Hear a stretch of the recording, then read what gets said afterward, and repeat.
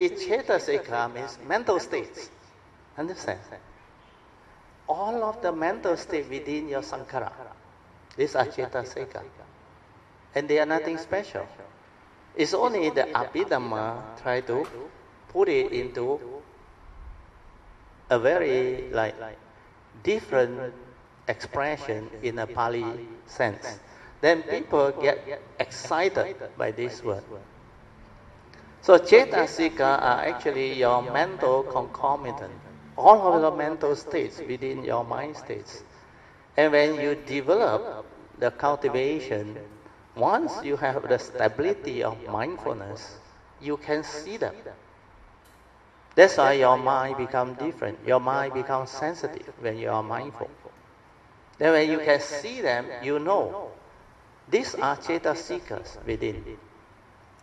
That's why in the uh, what they call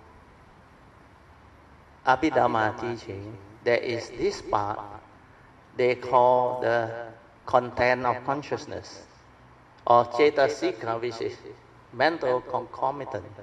He says, in every consciousness, there are seven universal. You heard of these seven universal, isn't it? Universal.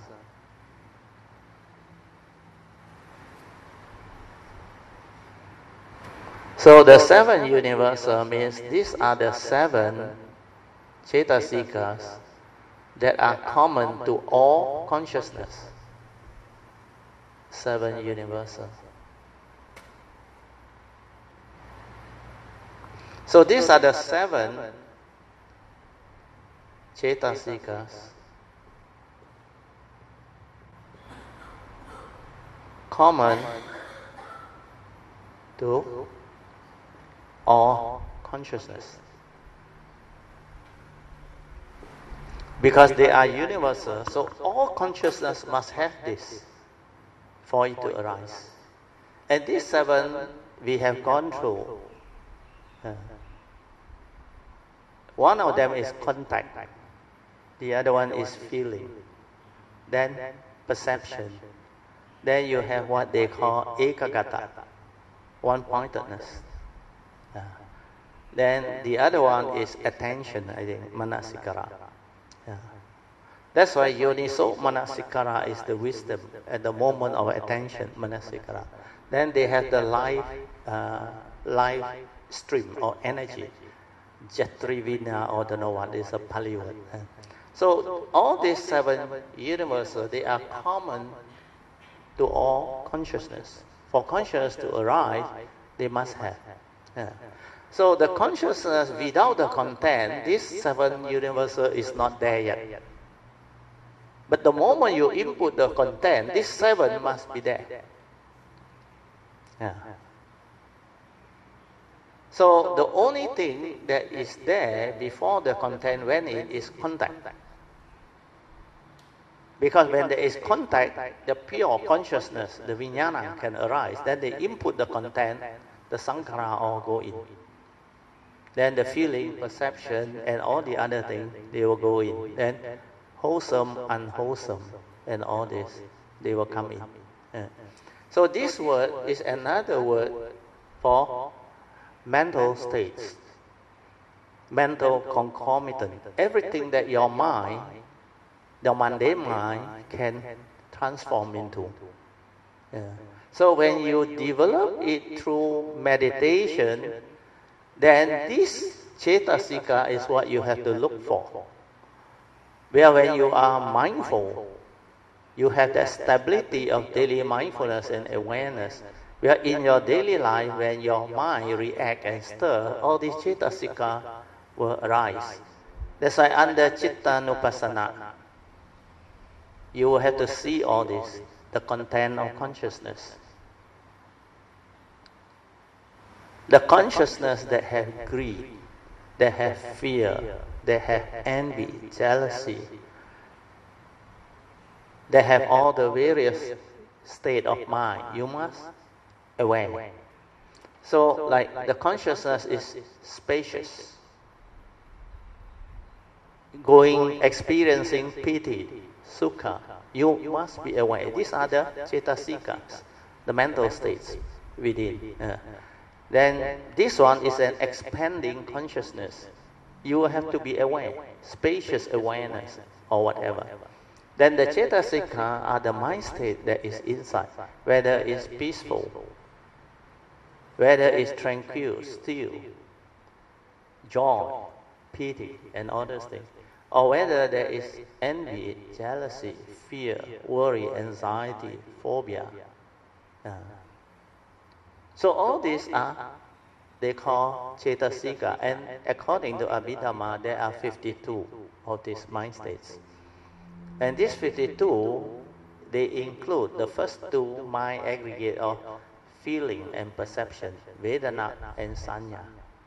So if you take that two away, then the rest of Cetasika is 50. Yeah.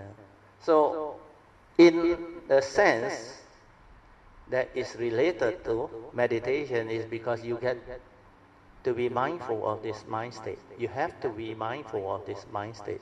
Then, like the Buddha's explanation, when this mind state arises, means you know your mind has stirred. It has become like that. Then if your mind has not stirred, it will develop the tranquility state, the stillness state, the silence, the piti, the sukha, all the what they call wholesome mind state. That's why you got wholesome and unwholesome, kusala and akusala. Yeah. Then you also have the neutral feeling, indifferent and all those things. Mm. Then this one subdivide the mind state into many, many more, uh, many, many more description. They describe it in more detail so that you can have the various understanding of it. If you want to know most of the mind state, you have to go into this, what they call, if I'm not wrong, is Sallekha Sutta. Sallekha Sutta, where the Buddha subdivide all of the possible mind state into a total of 45, if I'm not wrong, 45. Uh. So under that one, you, you, you can read through them also uh, under Sallekha Sutta. Mm. So basically, it's nothing very special except people find it very like interesting because this word is seldom taught or seldom discussed. Because it's an Abhidhamma word. Abhidhamma is the three basket, the higher teaching. First, you have the Vijnana, uh, Vinaya. Vinaya means the monks' precepts. Means the Patimokkha part, yeah? the Vinaya part, the discipline of the monks. Then you have the Sutta, the second basket. The Sutta is all the discourse of the Buddha. Then the third basket is Abhidhamma. They call it the higher teaching. So in the Abhidhamma, they go deeper into consciousness. Uh, they go much more deeper. They classify all the various type of consciousness. Then they got the consciousness for lay people. Then they got the consciousness for enlightened being. Supramundane consciousness and all those things. Mm. The various classification. But as far as my nature is concerned, because in the early day, when people come to see me and ask me this topic, I say I don't know because I never read the Abhidhamma. Then later on, I managed to get hold of this Abhidhamma book. I think uh, many years later after I graduate from MU. Huh? And somebody gave me one book which is quite good from by Narada, also by Narada, huh? Venerable Narada. I think it's something to do with Abhidhamma. I don't know, a compendium of Abhidhamma, I don't know what, I forgot already. Then I flicked through that book after 1989 when my nature understood. Then I saw the thing so interesting. But I say all this cannot be understood by the unenlightened being. These are all theory and knowledge. And these words is not easy for people to understand. But if you have already awakened and transformed, then you read, then you understand what they are trying to tell you. Then, in fact, a lot of the translation are not correct. Not correct. The actual happening is not like that. But they try their very best to subdivide. I think in the olden days, they, they have this teaching, if I'm not wrong. Then they try to use word to describe them. But, but quite a number of the things that they said is quite true. Quite true. Like they mentioned. Uh,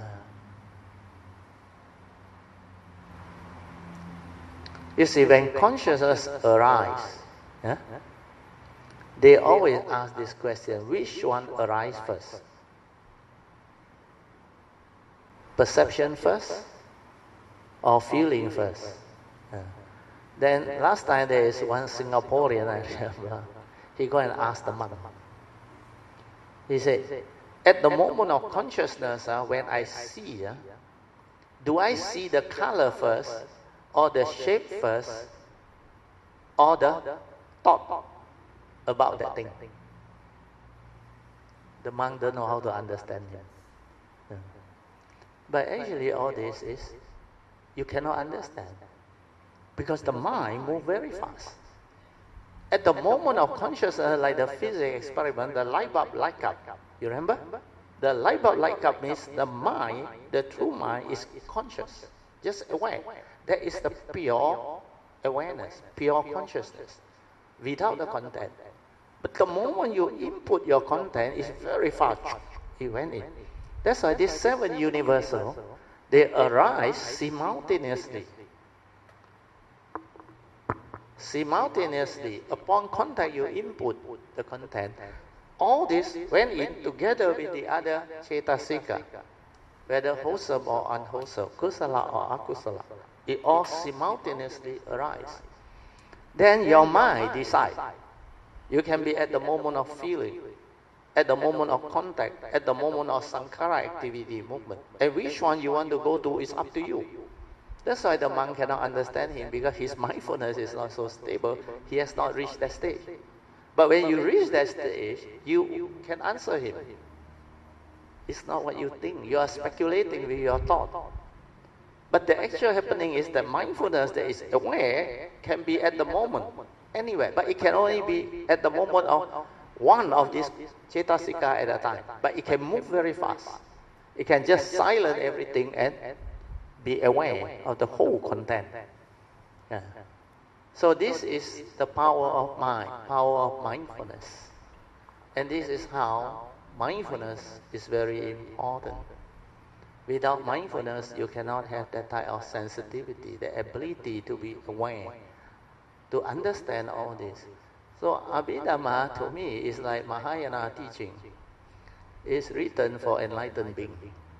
Understand? So if you are not enlightened, you read, you cannot understand. You only interpret them. That's why you need to develop the cultivation. When you have the cultivation, when you have the transformation, the understanding, then your mind functions differently.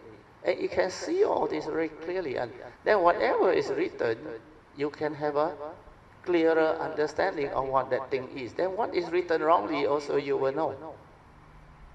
Uh, so is it clear? Uh, so it's not a new word. It's just a Pali word that a lot of people may not understand. So the English rendering is mental concomitant. Yeah. Yeah, but it's actually all your various sankhara mind states yeah, that is within the content of consciousness.